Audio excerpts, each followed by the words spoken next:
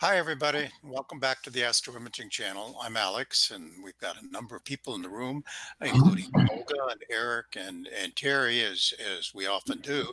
And um, tonight we're rejoined by Josh Smith, who hasn't been around for a while, but uh, luckily he's he's come back. He's going to ready to do a show for us in the not too distant future. So um, it's good to have Josh back with us. And of course, um, Lloyd Smith is here. Uh, he's going to be coming in from Deep Sky West, and he's going to tell us a lot about Deep Sky West. And that's the main focus of our program today. I'm going to share my screen here in a minute. Boink. Share my screen and sharing my full screen. And when I do that, you should see um, well, of course, you should see me because uh, with a little bit of a time delay, I expect. And um, down in the lower right-hand corner of the screen, you can see the Rumble Talk. We've now got seven people joining us to, to, on Rumble Talk, and nobody's making any comments over here, which is perfectly fine. That's actually the way we, way we kind of are working towards. Um, there's a better place to make comments, and that's on YouTube channel itself. So if you want to go to YouTube, there's a good place to make comments over there. So I encourage you to do that. Um, but there's some other things I want to show you while I'm here. One is our upcoming shows. And you can click on the upcoming shows link, and um, you can see Lloyd's going to be here today. Next week, one of the session managers is coming in. Um, Nina, uh, I nighttime imaging and astronomy. It's a session manager, kind of like SGP or Prism or a few other ones we've talked about over time. And uh, that's going to be pretty cool here. It's open source, kind of like PHD2 guiding. So that, that should be interesting to see how they've, uh, their interpretation of how to do a session manager. And it's a free program, so you might want to see that. Greg Crinklaw is finally, finally, we hope, coming in. He's been rescheduled several times, SkyTools next week. And then um, on Sunday, November 3rd, I think it is. Yeah, it's November 3rd. Ann Zabludoff will be coming in. Um, she's going to be telling us about how we can become scientists again. Scientists. We've had several of those programs lately, and I think they're always interesting. Um, Greg Beneke brings us uh, up to, he's going to tell us one of those stories about how to become an astronaut, some of the mistakes he's made along the way, and uh, equipment choices and stuff like that. So I think we'll enjoy that. Then we're going to take that that uh, week off because we'll all be at the Astro uh, Advanced Imaging uh, Conference, and um, then we'll come back with some other things we've got. We're trying to fill up the schedule again, and we look like we're doing a good job. Tolga's doing a lot of work in that area, and thank him a lot for that. Um, the um, well, anyway, uh, Lloyd is going to tell us today uh, about um, uh, Deep Sky West, and we'll be getting to him in a minute. But there is an announcement that I need to make um, about RTMC. If you guys know that I've been going to RTMC for like 25 years, and uh, I've been an, a merit award. Oh, this domain is for sale. Boy, they did that quickly. Uh, RTMC dot uh, oh astronomyexpo.com. Mm-hmm. Expo.org, and uh, that's a sad and heartfelt farewell to everybody. RTMC is uh, folding its doors. They've um, the camp is um, can't really accommodate us anymore for a number of reasons. The board has made a very sad decision that after 51 years, I think it is, or something like that, they've had to close shop. So we'll be missing that. Um, see that picture in the background there? That's one of mine. That's my horsey back there. Mm-hmm. Um, so I've been a part of RTMC for a long time. I mean, all my real hobby life um, I've got a merit award for telescope building, and um, I presented Beginner's Corner in the imaging workshop up there. And I go up there, and I'm also the guy in charge of traffic up there. So when you first get there, you can't get in because of me and stuff like that. So it's been a big part of my life, and I'm going to miss it. And um, you know that's not good that it's happened, but I wanted to make sure everybody knew about that. Nightfall. Nightfallstarparty.com is another thing I wanted to tell you a little bit about. I've told you about it before, and you've seen shows here on the Astro Imaging channel about Nightfall, uh, the, the imaging rigs of Nightfall, where we show what people brought to Nightfall and the they take. And uh, we're going to be back again in probably just a couple of weeks, October 24th through the 27th. And uh, if anybody doesn't know about it, we've got a lot of cool things happening. Um, the most important thing for imagers, of course, is that our beloved Richard Wright will be there. And Richard's going to tell us about best practices in astrophotography. And you can go to nightfallstarparty.com workshops, but there's a whole lot of other things happening at Nightfall. And um, here's a schedule you can find, and there's lots of presentations. I'm going to be doing a presentation about five astro images that destroyed the world, and it's um, I like the presentation, so come come see it. Okay. Anyway, um, those are my formal announcements, and I'm going to get back to um, introducing now um, uh, Lloyd Smith, who's coming to us from New Mexico. And Lloyd, are you ready to take over? I am. Okay, you got it. All right. How do I switch over to my screen? Uh, will take care of that. Okay, good. Well, thanks for having me, everyone. Um, I know a lot of you folks uh, that I see on the channel all the time, but hopefully we have a lot of other interested parties out there. So I'm going to talk a little bit about Deep Sky West. You guys know um, we did this what about uh, maybe three years ago now, maybe a little bit, a little bit, uh, not quite as long as that. So I'm going to start there and kind of uh, do an evolution, kind of what has happened to us since then things we've learned, things we're thinking about doing, and kind of how you know we've evolved because uh, the hobbies changed and we've changed, and it's uh, it's been a pretty interesting time. So, um, if anytime anyone has any questions, you know, just just stop. This is a little bit free flowing, but I'm going to take you through at least the the evolution, and then we'll get to a, uh, an interesting uh, turning point here. So let's let's go to the first page. Um, how do I get that happening? Um, Oh, we haven't shown you how to, to uh, share your screen yet? Uh, we talked about it. That was okay. a long time ago. Um, well, and besides the software has changed. So what you need to do is, is put your cursor up in the upper right-hand corner of your yep. Hangout screen. Yep. And see where it says share screen? Yep. Okay. And then the, you'll see your screen there and click on that mm -hmm. screen. Mm -hmm. And then the share down in the lower right-hand corner will wake up. Yep. Good. Share and off you go. All right. So you guys are with me now, yeah? Uh, I'm, I don't see you. Oh yeah, because you're you're showing me because you happen to be seeing me, and then in the there we go. You're on. Right. You're good. All right. Good. So um, th this is uh, this is actually the first few pages of this have not changed since the last time we we we talked, and uh, there's a reason for that. But um, it's actually interesting to look at this this particular scene. I shot this panorama from nearby the house that's uh, where the residents live on the property at, at, Deep Sky West. So it's it's dated and pretty interesting. But at the time uh, when we talked about this before, and when we even built the facility, you know, we were thinking, you know, what's what's the most fantastic situation you can have? And none of these things have changed, right? You want great seeing, you want the best that you can get. Uh, you, you know, you want to you want reliability in your infrastructure, redundancy, et cetera, et cetera. So that was the mindset that we had then. And so, you know, we, we assessed the market and, and the equipment and the various vendors and said, yeah, you know, um, the technology is there. And this is us talking back in August 2015. And, uh, but then this was the problem, right? Most of us face this. Um, I actually live in Atlanta, which is where I am right now and uh, I imaged from my backyard, kind of down here, and you know where Atlanta is, where all that red stuff is.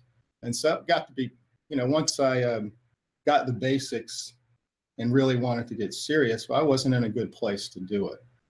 So, um, you know, we started eyeballing around the country, especially those dark areas that, you know, the country's almost divided right in half. So we, uh, this is where we ended up. Um, let me go back and see if I can get this little animation to go. So we have a 35 acre site in Rowe, New Mexico. It's at uh, approximately 7,400, 7,200 feet uh, in the middle of nowhere. And if you notice in this chart, there's a, a rectangle kind of left of center. That's the residence. It's a, it's an earth berm house, kind of totally off the grid. It's really kind of cool my partner, Bruce Wright, this is his thing. He's interested in uh, efficient off grid housing. Uh, he has you know, very little interest in the sky, believe it or not. I'm the one that pressed that issue. And uh, when he opened the house, we were standing on the roof on New Year's Eve with glass champagne. I'm looking at the sky and they're worried about drinking their champagne. I'm thinking this place is unbelievable. And that's where we built. So um, a couple of things have happened. Uh, here's there's there's really two distinct things that happen uh, at Deep Sky West, all under the same roof. Uh, on the one hand, you have uh, traditional hosting. Um, that's kind of in the last bullet here. You know, even today we have uh, individuals who just a single person running their system, their father-son teams. There are teams of uh, strangers that are that are friends now.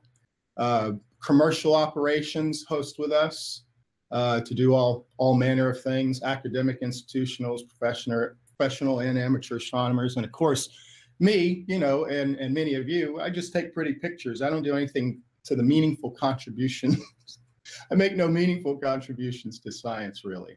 Uh, lots of other people do who host with us, and and what that means for us is not any mystery. They um, they bring their system, we help them get it in, in place, we make sure it's safe. If it's clear, we open the roof. If it's not, we don't. And we um, you know tend to you know basic needs, which is most of what occurs, a cable problem or or what have you. Um, another thing we did, and many of you are familiar with this, is our subscription model it was this was a, a, little bit different, a little bit different thought process, and and the idea was was really this that there are not going to be a whole, not everyone's going to be able to host their system in a remote site. So if that's if that's the only um, barrier, then how can we solve for it?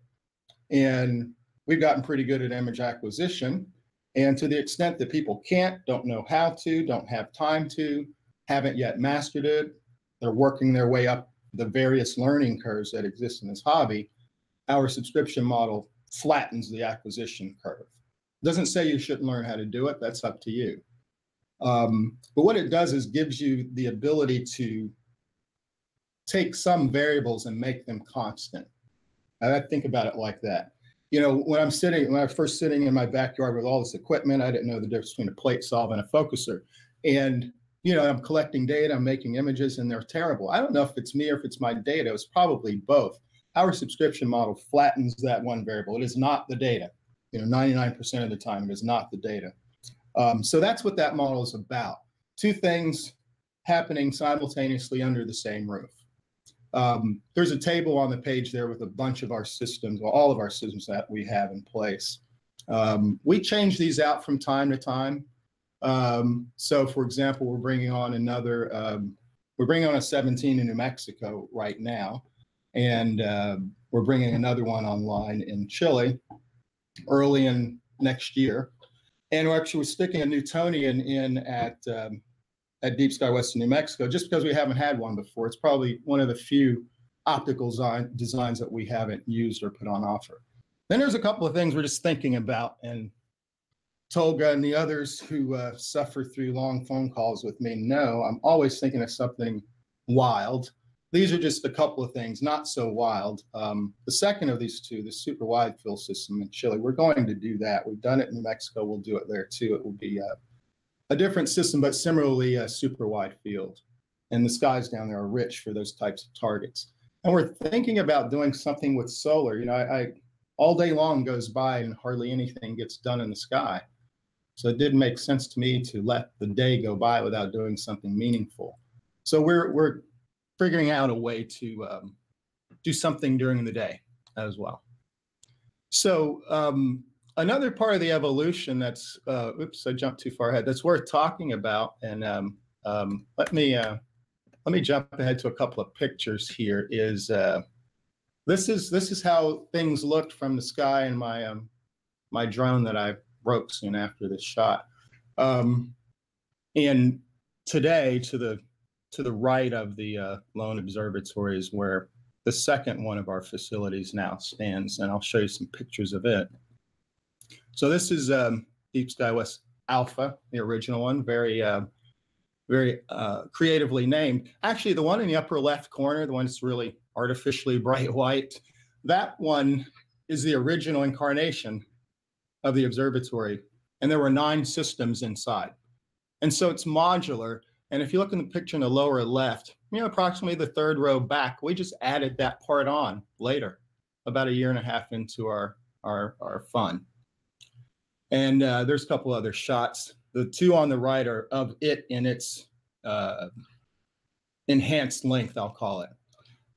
On the upper left, you can kind of see uh, alpha in the open position and beta over the horizon. You'll notice it's designed a little bit differently, but the footprint is pretty much the same.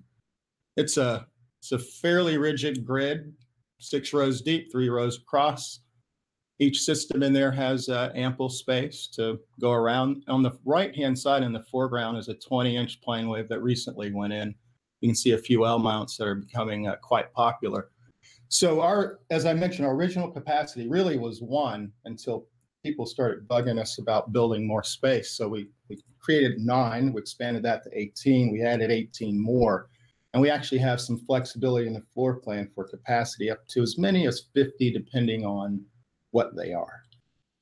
So that's kind of how we've we've uh, we've changed, and and we've added. Oops, let me go back. We added um, another system in Chile that's been online since um, July. It's again a subscription system. The question again is the same. If you can't be in Chile with your own stuff, that's the only thing stopping you. How do we solve for that? And uh, so far, this has been our answer, and it's been working pretty well. It's been on the ground since uh, July and uh, quite quite productive through their winter. Um, so I'm going to back up a little bit. Some of the I, I threw in a couple of um, shots uh, that come off of these various. All these come off of some Deep Sky West system somewhere. Just some, of, and these are just mine. Our subscribers are numbering um, over since our since our inception. Our subscriber base numbers in the hundreds, and so there's um, images with these data all over the place. Uh, these happen to be just a couple that I pulled out. Upper left comes off the RC Optical, lower left off of Rokinon. It's, uh, I think, nine or 12 panels. I'll never do that again, and so on. Um, another couple of, uh, I'm not sure these galaxies all got lined up, but there is an RH305 upper right. The one in the center is off of the refractor down in Chile. And the lower right is actually off of my own system, uh, an FSQ with 16.2.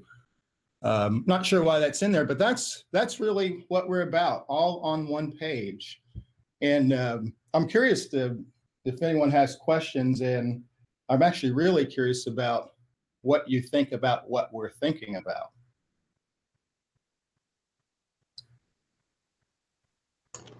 Hi, Lloyd. Uh, hey. This is Eric.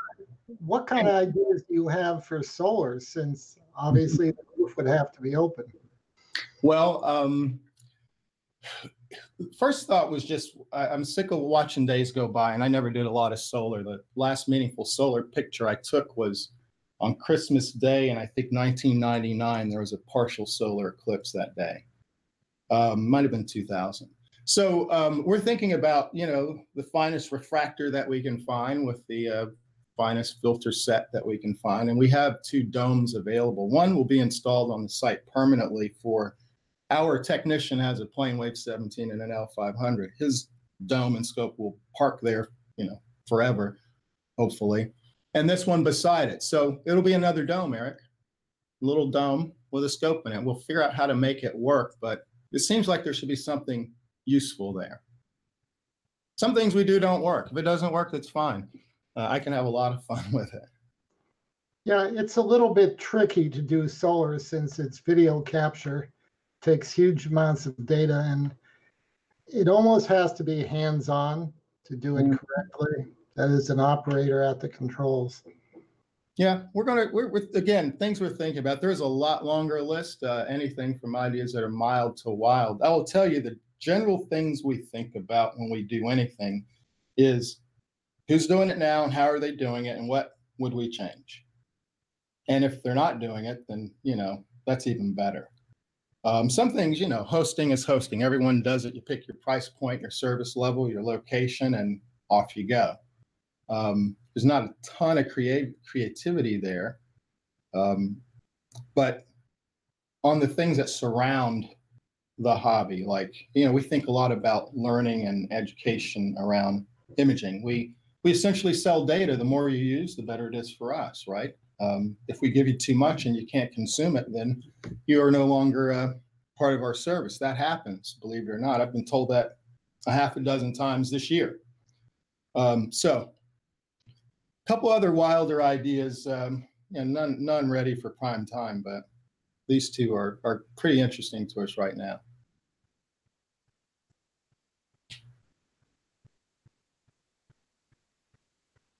Anything else? There's a Well, there was, question. there was no question. Sorry. uh, George Go Lund. ahead, Eric.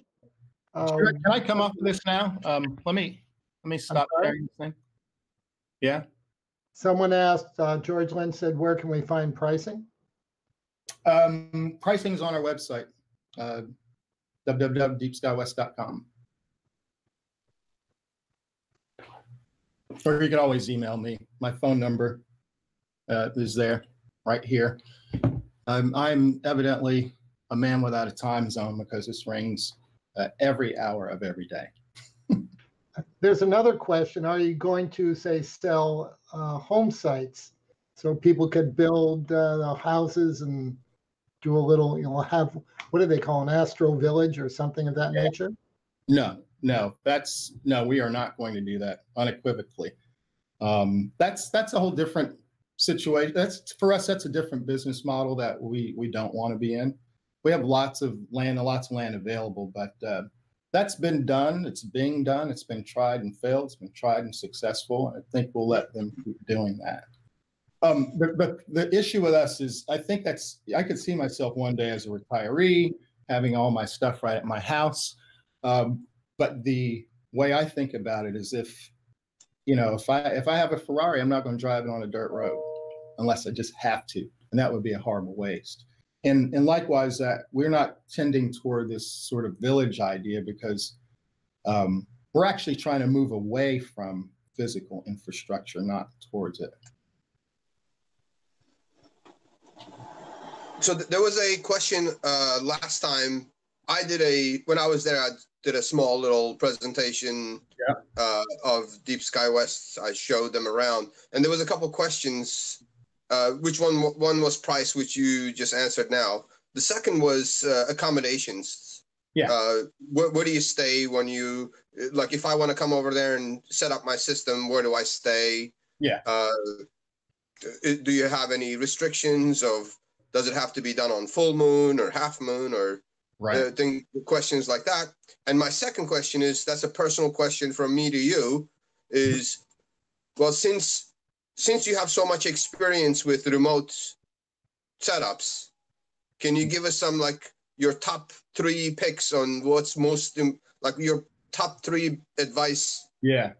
if somebody wants to go remote what would be like the best thing you would you know what i'm talking about Yeah, yeah, absolutely. So if I, I'll have, you might have to remind me of one of these three questions. So one was about accommodations. Um, there are three, three choices. You know, we are 45 minutes or so from Santa Fe. Um, it's a regular city, lots of choices there. Uh, there's a bed and breakfast that we started up a relationship with recently. I have not personally stayed there. I don't go to the site that often. Uh, Tolga's there more than I am, uh, by fivefold more than I am.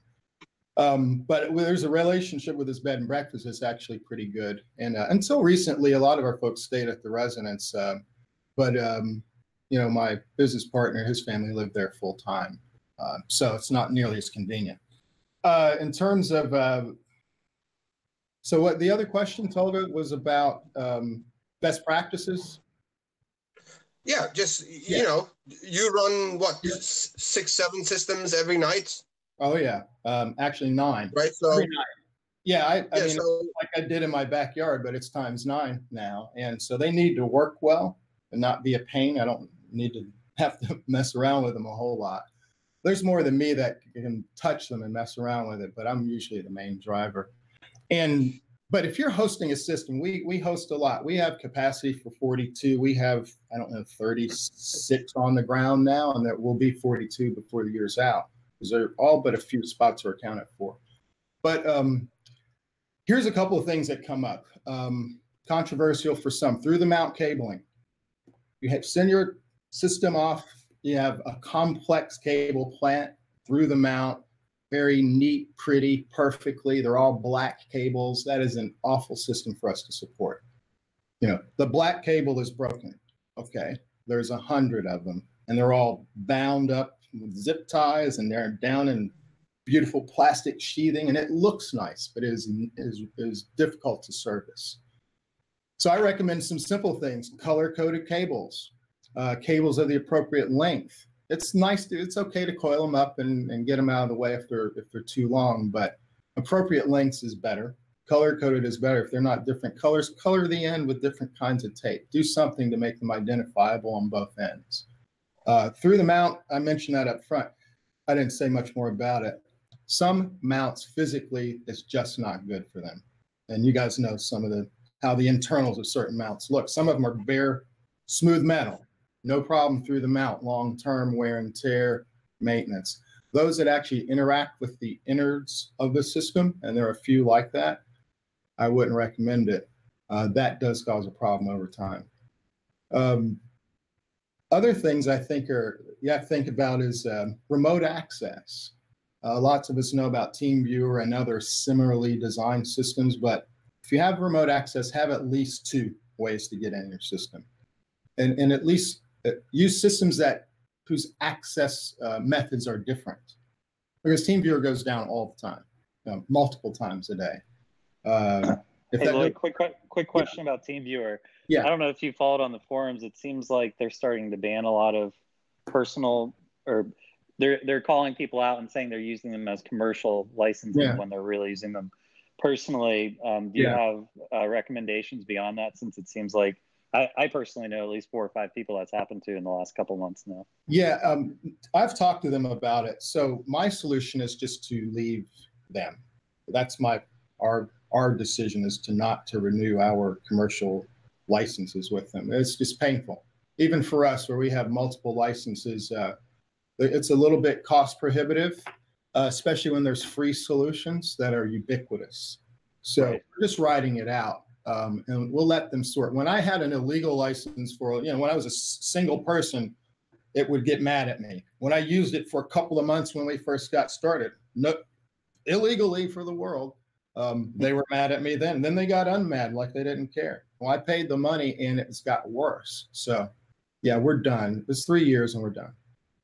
Do you have one that, that you recommend or you're going towards? I'm going to use Chrome, which has always been my backup, Chrome Remote okay. Desktop. It works. Uh, even in the new incarnation, it took me a minute to get used to. But on my screen now, I have, you know, 18 tabs. Each one of them is one of the nine systems. I'm watching one focus. I'm looking at the seeing monitor who just lost its star and so on. So yeah, it's um, the problem. That seems snappy. The I agree. what is going to be the backup to the to the backup is taking the first position. What's going to now take second position because it's not going to be TeamViewer from not. Right. Okay. You know, I can put another vote in for Chrome Remote. It is yeah. behaved flawlessly for a month and a half after TeamViewer decided that I was mm-hmm. and kicked me off. And it seems that in, in our shop, Eric, it seems like in our shop, because we are licensed, some users got hit, you know, because of it. You know, it's kind of like their their systems aren't smart enough to let, you know, personal well, commercial users commingle. This is a way to generate revenue. They figure if they kick hundred people off, maybe they get ten new customers. Yeah, probably. So there's another question here. Uh, can you explain, uh, John Adastra wants an explanation of how the targeting is selected amongst the teams? Yeah.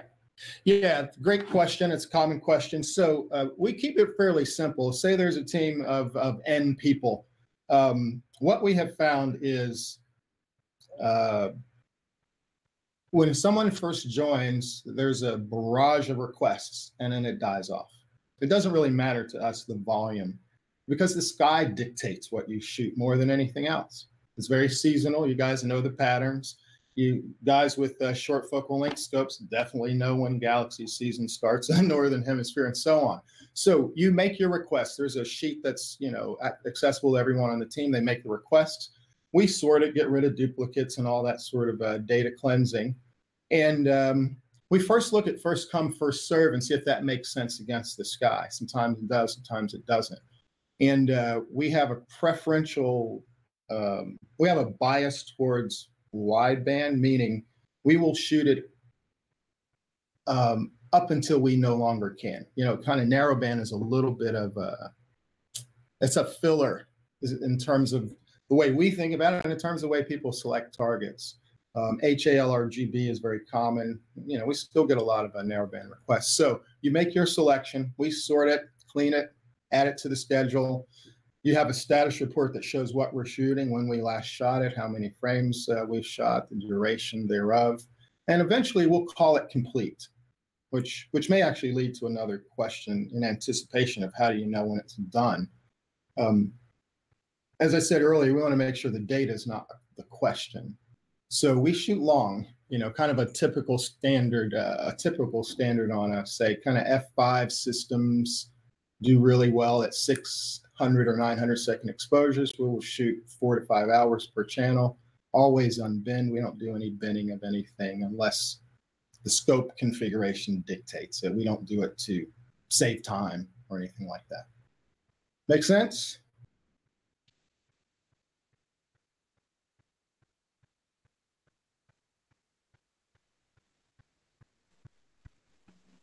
Eric, did you get that?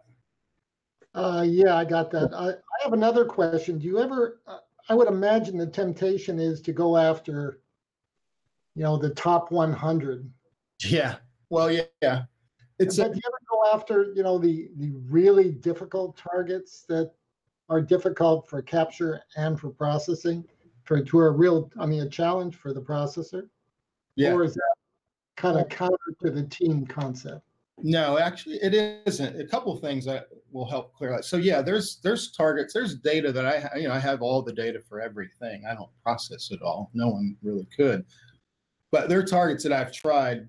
I'm on my fourth and fifth year trying to get them right, and I'm probably never going to. So yeah, we shoot what the team asks to shoot. What we what we how we alter it, other than the ways I talked about, is we don't shoot the same thing in consecutive years. We're not going to shoot LRGB M42 this year, next year, next year, next year. So suppose you pick a team that just in that scope really just shot that in the last 12 months and you really want it. Um, there's no great way around that. So, you know, it's not a lot of times that that happens, but you know, I make those calls. If you got a guy or gal who wants the day, I just give it to them. It's not that um, it's not that big a deal, but we don't want to take everyone through another year of the same darn thing. We'll shoot them every other year. And we could recycle data, but that's not the deal that we've made with everybody. We're shooting it contemporaneously. And then from time to time, there'll be a target that's very interesting, and we may have, you know, 80 or 100 hours on it, or 50 or 60. And we'll say, hey, guess what? We're going to lump that all together, have at it, and see what you can do. Lloyd, can yes, can can can somebody go back and get archive data? Do you keep the, you know, like you've been doing this for so many years? Yeah. Yeah. Well, we we do have lots of data. I mean, data that we've kept, meaning, you know, we have pretty good uh, we have pretty good hit rate. We don't have a lot of a lot of throwaway data, but we do throw away bad frames. If it's bad, we throw it out. We reshoot it. We try to catch them all because we look at 100% of all frames. Uh, we do what I call a, a, daily relative comparison of all data, and then we do a spot absolute comparison within a data set once it's complete.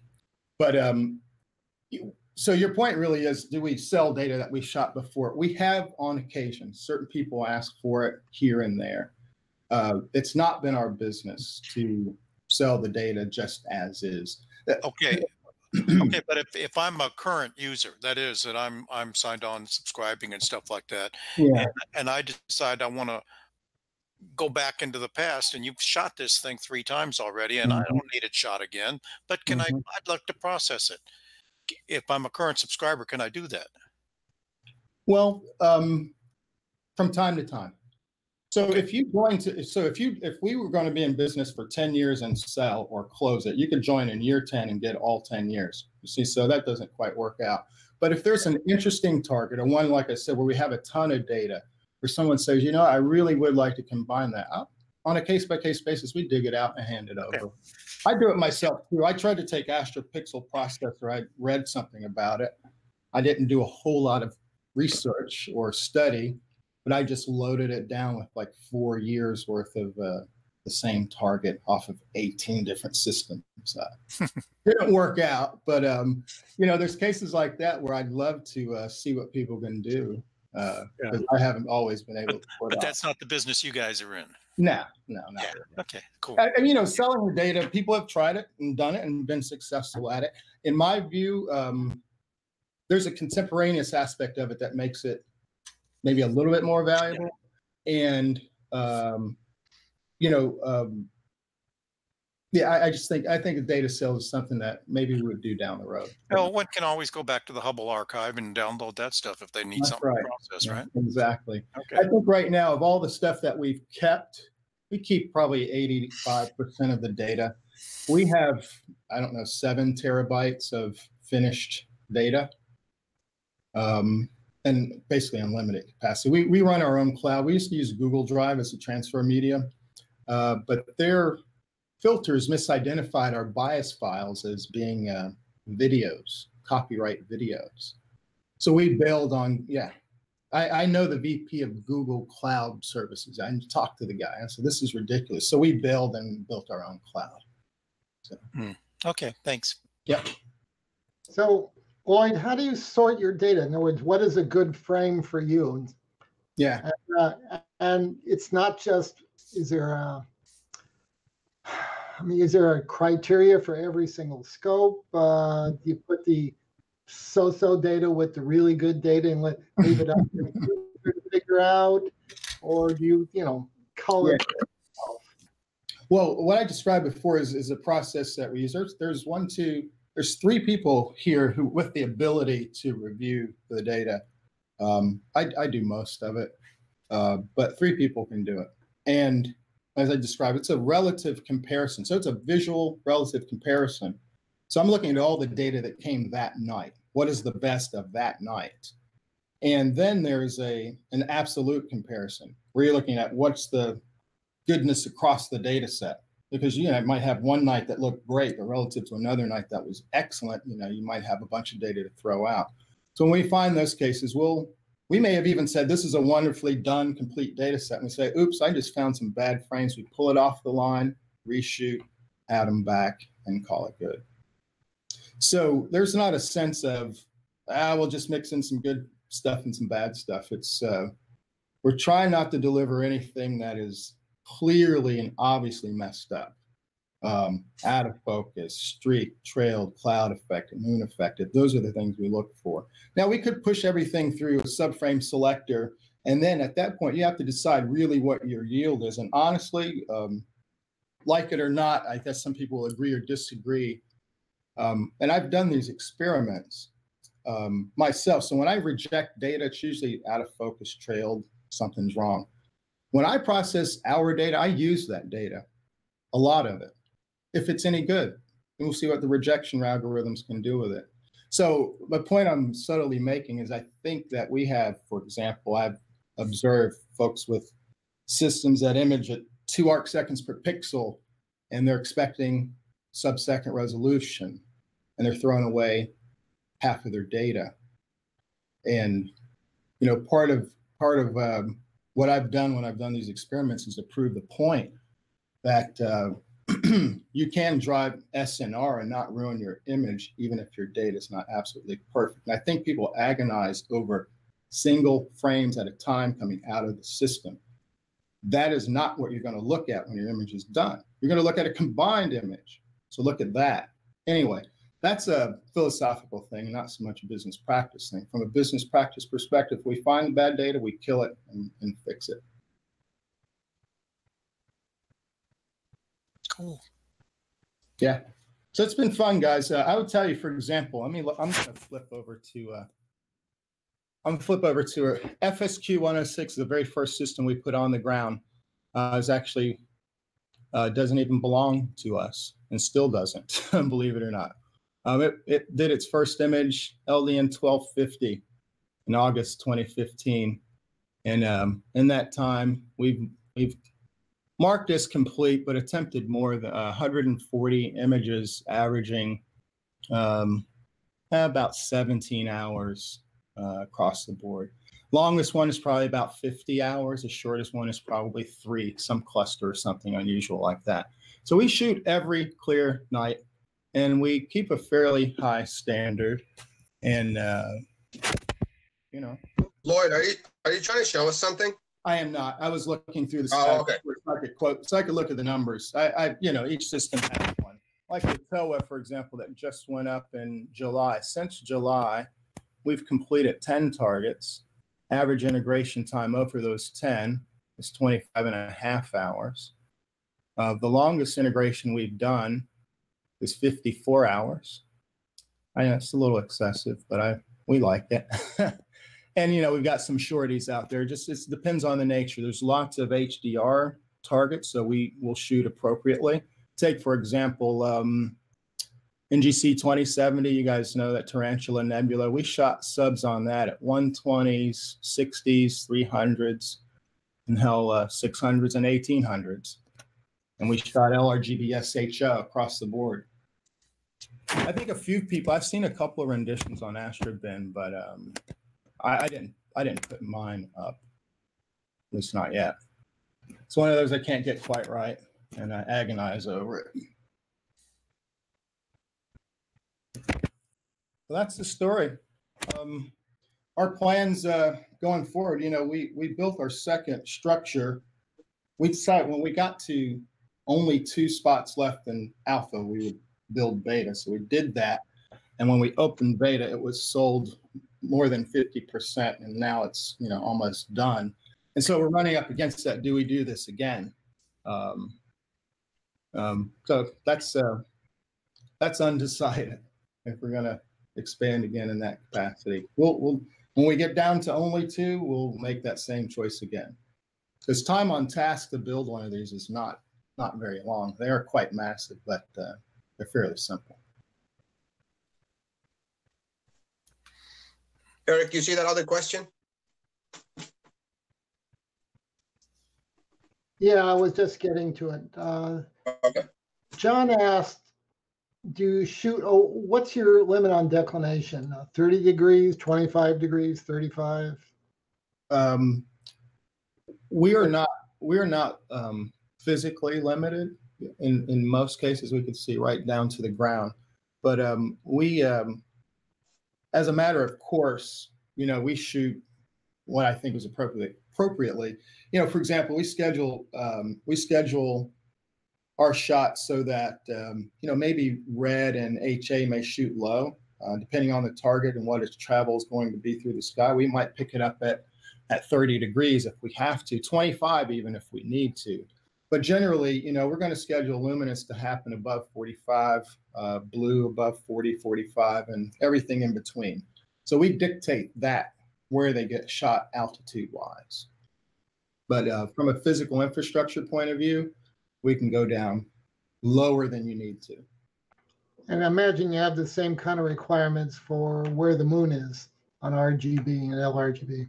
Yeah, yeah. I mean, we we shoot um, we shoot in a fashion that uh, we're aware of, you know, moon size, moon distance, filters. Uh, so, for example, for most systems, say uh, kind of f5 and up, generally, you know, you can shoot HA within 40 degrees of a full moon sometimes, depends, but you can get pretty close. Um, 03, you need to be about 90 degrees away. Uh, we shoot luminance in the presence of the moon. Uh, I think some people drive their systems to not do that. Um, but kind of a basic standard, if you can be 120 degrees away, you should not have any moon effect. But that's our going in standard 12014, which is pretty standard in scheduler, which drives some of our systems. Some of our systems are underlying them is scheduler.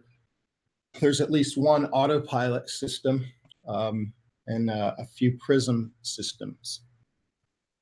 They all are slightly, and we're familiar with a lot of them, SGP, CCDC.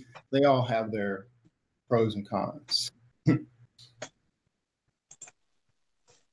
but we we get to use them all, and we get to use a lot of different hardware. Um, our we work a lot with Tolga because he has a lot of customers. Uh, period, and and some of his customers are also our customers. And uh, just by virtue of that, and with their 40 systems on the ground, you get to see everything. You know, um, every every vendor, uh, you get to understand their service experience associated with each one too, the reliability of some of the equipment. We it's not something we could opine on because we have a small subset of all systems, but certainly uh, have an opinion about those things.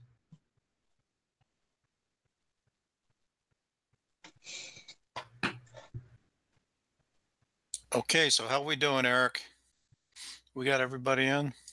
I think we have all the questions answered. Yeah. Okay. Um, Lloyd, is there something else you'd want to tell us as somebody who's been doing this for a while, something you haven't hit yet? Well, um, you know, I find it, I'll tell you, I, you know, this is, this is my hobby. Um, this has been my hobby since um, I tried to shoot DSLR film on my eight inch SCT, and I just knew I could do it, and I just didn't. Um, but it's my hobby turned, you know, kind of small business enterprise. We have, you know, three, four employees that do bookkeeping and that sort of thing.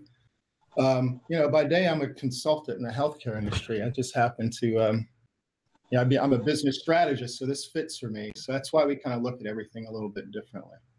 You know, uh, we had ideas of the sharing economy in our head when we were first thinking about this. Um, the, the expense and the difficulty uh, make you start to think about of it a little bit differently if you didn't have any other exposure to the industry like we didn't. Okay.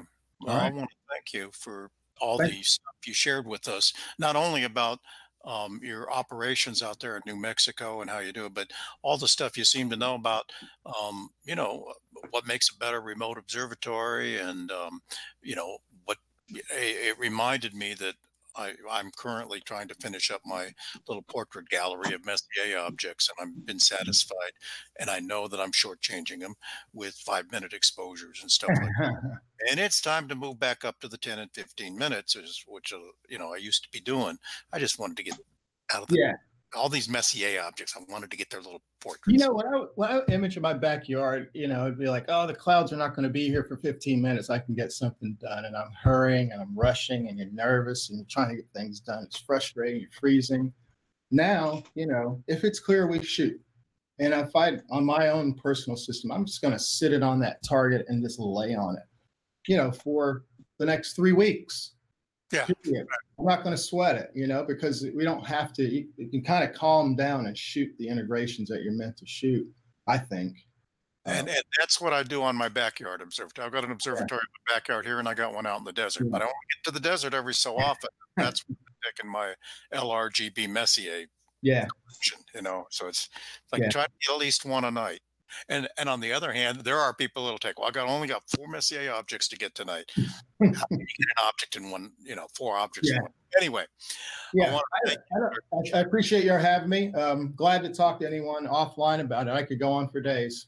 Are you going to be at AIC? And um, I doubt it. No, I doubt it. I'm actually, uh, I'll be starting a, a new role here pretty soon, so I'll be pretty much heads down. Okay. Well, thank you very much for being here. Thanks for having me. Are we ready to check out? Yeah, uh, Lloyd, uh, hang out after we uh, end the show. We have. a- Okay. All right, we'll do. Thanks, uh, everyone. I want to remind everybody that uh, we are the Astro Imaging Channel, and by we I mean you, me, Lloyd tonight, and in the past, and in the future, I'm sure. Um, and Josh is joining us back after a couple of years absence and stuff like that. Molly's here. Hi, Molly. And uh, but there's a whole lot more people out there that could be contributing to this. Uh, you all do astro imaging. You've all got something to share with other people. You can all get in on a phone call and stare into your little camera on your laptop, like I'm doing right now, and talk. I mean, that's all we're looking for.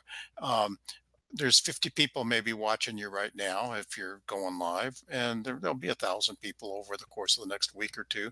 Um, but don't let that get you nervous. You're just sitting in your living room talking on the phone, except it's not a phone, it's a webcam, you know? So just, you've got some stuff you can share. Come to us, visit with us. Um, and Olga, take us out. All right. Good night, everybody. And we'll see you next week with uh, Nina.